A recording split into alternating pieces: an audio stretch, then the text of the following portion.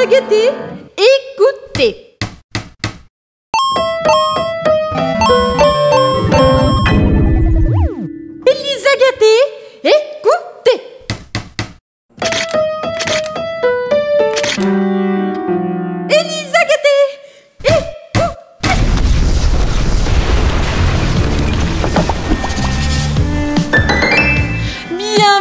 bel, incroyable univers avec Elisa. Eu sou Elisa Tuchon Fingerman, sou a criadora do Avec Elisa e hoje você vai finalmente entender qual é a diferença entre entendre e écouter. Ce sont mes spécialités, são as minhas especialidades.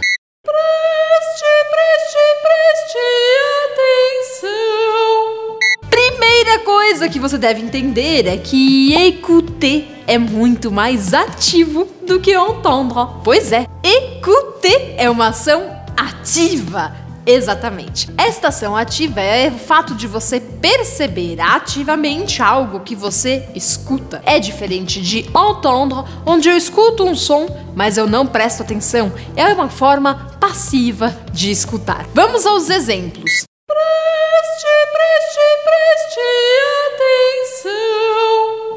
Posso falar, por exemplo, j'écoute toujours la même musique. Quando eu falo esta frase, j'écoute toujours la même musique, significa que todos os dias ou frequentemente eu coloco a mesma música que eu adoro para ouvir e eu presto atenção na música. É diferente de falar j'entends un bruit, ou seja, eu não estava buscando ouvir um barulho, mas algo surgiu nos meus ouvidos e eu ouvi este barulho, então eu falo j'entends un bruit. Preste, preste, preste atenção. Mais attention, é claro que estes verbos são tão magníficos que eles têm algumas características específicas. Por exemplo, o verbo entendre também era muito usado antigamente e numa forma um pouco mais formal ainda hoje para dizer entender. Então, apesar dele ser normalmente un faux ami, ou seja, um falso cognato, com entender em português, ele também pode ter este sentido em algumas frases. Mas preste bastante atenção, porque não é um uso comum. Se você quer dizer eu não entendi, você não deve falar je n'ai pas entendu. Você deve falar je n'ai pas compris. Mas vamos quand même, ainda assim, ver alguns exemplos em que j'entends ou entendre pode ser usado como entender. Preste, preste, preste atenção. Um exemplo de entendre como compreender, comprendre, seria j'entends par cela qu'il faudra tout refaire. J'entends par cela, eu entendo disto que tudo deverá ser refeito, tout est à refaire. Voilà, mas Preste bastante atenção. O verbo na negativa quer dizer não aceitar. Então, o verbo entendre. Se eu disser Elle n'entend pas laisser ses enfants avec son mari, elle n'entend pas quer dizer ela não aceita esta ideia. Elle n'entend pas. Preste, preste, preste atenção. Finalmente, o verbo entendre, este verbo mágico, ainda tem um outro significado se eu uso ele na forma pronominal. Qu'est-ce que c'est la forme pronominale, Elisa?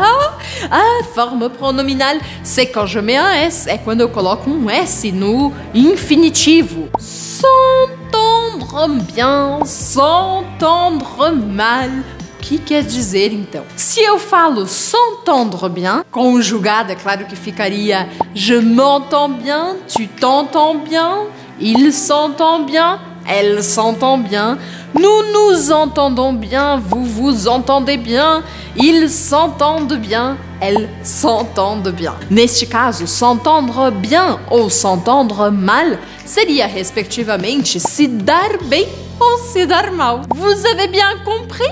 Vocês entenderam? Então, vocês podem me dizer c'est entendu. Entendu.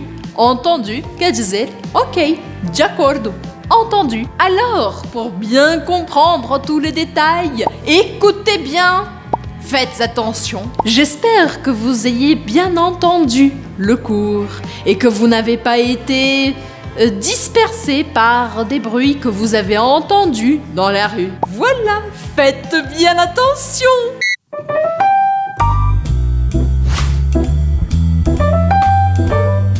Cette vidéo a été faite spécialement à Mon élève de français qui adore la musique. Alors, Patricia, as-tu entendu et bien compris la différence entre entendre et écouter? Écrevez dans les commentaires tout le monde. Espero que todos vocês escrevam aqui nos comentários umas frases com entendre e outras com écouter. Merci beaucoup et à la prochaine. Petite gâtée, lâchez ce portable. Non.